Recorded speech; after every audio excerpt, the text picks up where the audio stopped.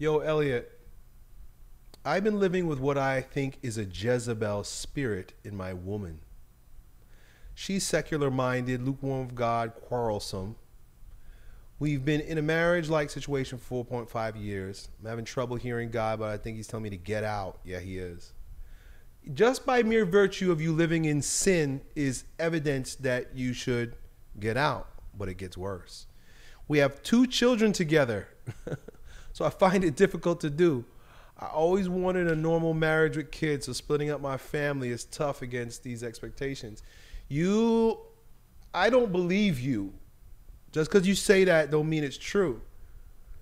Because if you always wanted a marriage and family situation, a normal marriage and family situation, you wouldn't have been cohabitating with this girl for four and a half years, uh, fornicating and making illegitimate bastard children. Sorry to put it that way, but we need to bring that word back because it is what it is. One of the things that the Marxists wanted to do was to legitimize illegitimate children because that would that would legitimize fornication and debauchery. And so you know, I'm not saying I don't know you, I don't know your children, but your children are bastards. And that's your fault. So you over here telling me that you want a normal marriage, but yet you bast you you you have illegitimate children and you cohabitating with a woman. That's why your life sucks right now. That's why that Jezebel spirit is a mirror for you. She runs your life. She wants to rule your life because she doesn't see you as a as a strong man. She knows you're weak and that she has control over you because you're willing to sleep with her, live with her, sire children with her and not make any provisions for vision in your life. There's no room for vision or mission. You just going with the flow. And a man that goes with the flow is a man that women will control. You have to be deliberate, and you haven't been deliberate. And so this is why you are where you are. He says, I'm constantly uh, drained by her. She's not very respectful. I don't know if it's who she is or if we're just incompatible. I stuck with it for the family against my gut in- intuition. I, I, I have a ring I purchased three years ago. I didn't want to give it to her. Not really in love, and I feel shame in both staying and going. What does your relational and spiritual maturity see in this situation? How do I hear God properly? How do I figure out this biblical masculine way to live? You can't hear God if you're not in a, a state of grace.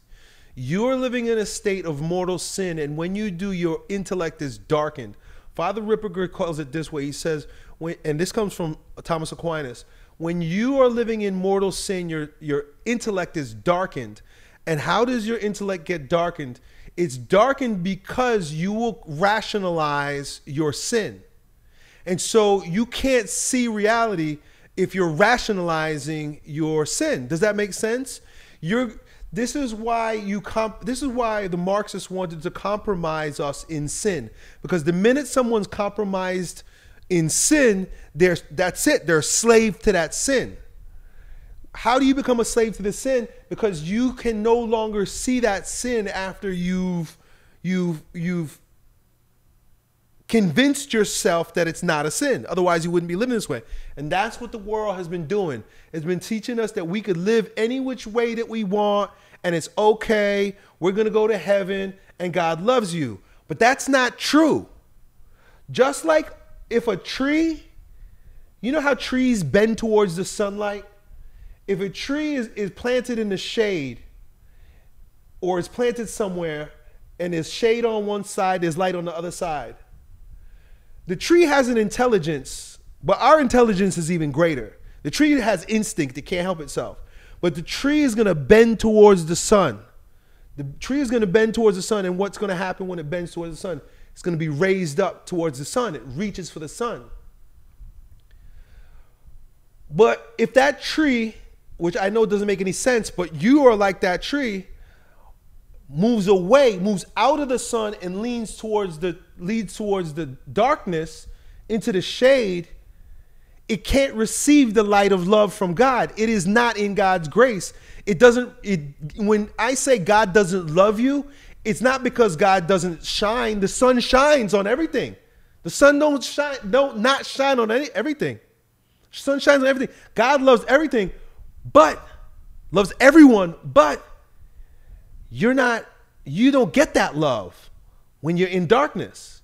So God can't love you. God can't love you. There's certain people God just can't love. And so you ask me, how do I hear God properly? But you can't hear, hear God properly because God don't love you because you're in the dark. How do I figure this out in a biblical masculine way that's better for everyone? Well, you got to marry her. you already married to her, but here's the difference between what I'm saying and what you're doing. You're living in limbo. You're living in make believe, halfway on the fence, lukewarm gray world. There's nothing more uncomfortable, there's nothing more challenging than living in the on the fence. Isn't it easier to fall one side or the other? What's worse, balancing on the fence or stepping on one side or stepping on the other? You got to make a decision one way or the other. You're living with this woman in, in sin. So you either move out and do what you got to do based on the law in order to either have your children or have her have your children or whatever. You got to either move out and it sound you're on the fence, so I don't even know what you really sense. Part of you wants to be with her, part of you don't want to be with her. You're already not married to her, so you you in the sight of God, you're already living in, in, in sin. So you move out with her, you move out from her. There's only two ways to repair this. There's no in between. Two ways to repair this. And I'm not saying repair it meaning like, oh, this is going to make your life better. Neither of these situations are going to make your life better, but they will both offer you the chance to, to return to God in a state of grace. You either move out and repent for your sins and do the best that you can with what you got, or you marry her, you repent for your sins, and do the best that you can with what you got. But if you continue to live with her in this halfway place, you're gonna you're gonna suffer. You're gonna. Here's the difference. One way, either the two things I said, you're gonna suffer like ripping off a band aid. Ripping off a band aid sucks. But the faster you do it, the better. You know that? Rip it off. But by living with her, you're like going slow with that band aid. It's a slow burn, it's a slow, painful death. You're dying a slow, painful death. If you marry her and you have to work through resolving listen, her Jezebel spirit is that way because you open the door. You open the door to the spirit that's inhabited her by fornicating with her and by living with her and for validating sin in her. So the Jezebel is your, is your fault.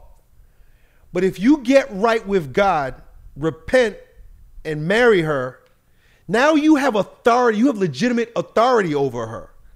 And when you have when you have authority over somebody, you have authority over the the demons that want to infest that person. This is all if you if you oh, this is all Father Ripperger stuff. He in his uh, spiritual warfare conference, the, the the one that came out this year, he talks about spiritual authority. When you have spiritual authority of somebody, you can command the demons to leave. A husband has spiritual authority over his wife and his children. A, a woman has spiritual authority over the children, but not the husband. It's a hierarchy. And the demons know that. That's why, even from the beginning in the, in the, in the garden, Satan wanted to remove Eve from underneath the spiritual authority of her husband. She's not under your spiritual authority. And both psychologically and spiritually, she is playing this Jezebel role. There could be a Jezebel spirit within her, and or she could be simply reacting to your effeminacy and your weakness as a man. So don't blame her. You say, "Oh, I think it's a Jezebel spirit in in her, my woman."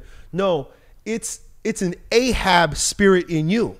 You know the Do you know the concomitant, the concurrent, the co part with Jezebel? The other half of a Jezebel is, um, I just said it. Ahab is Ahab. Ahab's a weak man. The reason why Jezebel was able to be a Jezebel is because Ahab was a weak man. You're a weak man. You're being a weak man. You say she's not very respectful because you're not very respectable. You say you're incompatible. But you're perfectly compatible. You're perfectly compatible in your sin. Ahab and Jezebel. You say you're going against your gut intuition. You say you're going against God. You say you're going against all things. So you could continue to you could continue to suffer or you could rip this band-aid off either way and and you could start to heal. So that's my opinion on that dude. Hope that helps. Done.